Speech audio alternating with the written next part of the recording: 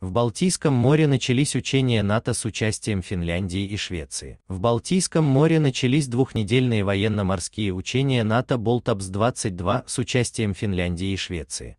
Ранее две страны заявили о намерении вступить в альянс. Об этом сообщает РБК Украина со ссылкой на ББС. По данным издания, в них задействованы 45 кораблей, 75 самолетов и более 7 тысяч моряков, летчиков и морских пехотинцев из 16 стран, в том числе из Финляндии и Швеции. Председатель Объединенного комитета начальников штабов Марк Милли заявил, что главная цель учений – продемонстрировать солидарность США и НАТО с Финляндией и Швецией.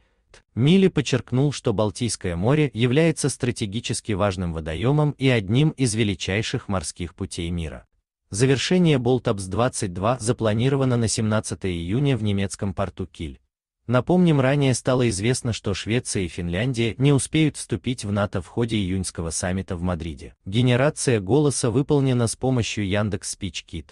Турция обвиняет эти страны в поддержке терроризма известно, что стороны пока не достигли компромисса в вопросе вступления скандинавских стран в НАТО. Срочные и важные сообщения о войне России против Украины читайте на канале РБК Украина в Телеграм.